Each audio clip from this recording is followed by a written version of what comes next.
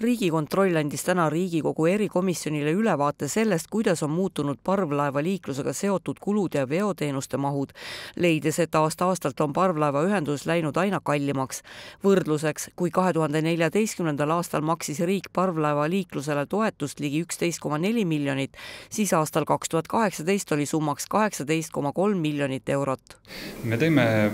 ise võib-olla kolm sellist põhilist asja, et ühenduse pidamine suurte saartega läheb järjest kallimaks. kulud on kasvanud, samas kui me vaatame näiteks ühiku kohta, et sõidukeid ja reisijaid on ka palju, siis võib-olla viis-kuus aastat tagasi oli kohati näiteks auto kohta see isegi kõrgem, see kulu. ja võib-olla kolmas asi on see, et, et juba peaks hakkama mõtlema edasi, mis on alternatiivid siis, kui nüüd see lepinguperiood läbi saab ja kas parvlaevaühendust pakutakse edasi, mis moel, kes on need konkurendid, kes seda võiks teha, kuidas see hange ette valmistada ja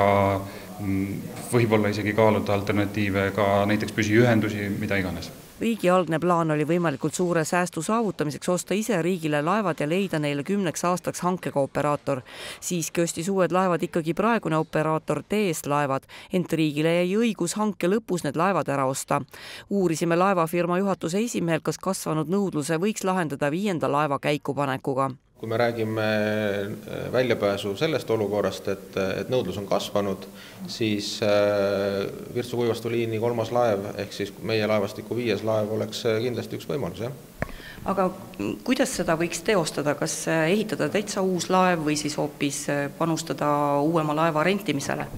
Noh, siin on kindlasti võimalusi erinevaid, et äh, kui me räägime uue laeva ehitamisest, siis äh, see tähendab seda, et äh, vähemalt kaks aastat tuleb senise mudeli järgi edasi elada ja, ja prahtida siis igaks aastaks eraldi laeva, nii nagu me oleme seni teinud. et aga loomulikult ka pikemaajaline prahtimine on üks võimalus ja, ja, ja kõik muud variandid ka, aga, aga eks see on ikkagi paljugi tellija otsustada, millise variandi kasuks tema otsustab ja, ja kuhu ta on valmis maksumaksja raha panustama riigikogu erikomisjoni esimees Jürgen Ligi peab viimast hanget õnnestunuks, kuid leiab, et kui riik tahab laevu ära osta, tuleb juba praegu edasi arutada, mida teha, sest riik peab otsustama hiljemalt kahe tuhande kahekümne teise aasta septembri lõpus, kas osta laevad või mitte. lepingusse on sisse kirjutatud uute laevade väljaostuõigus ja selle kasutus on mõtlemise koht, kas riik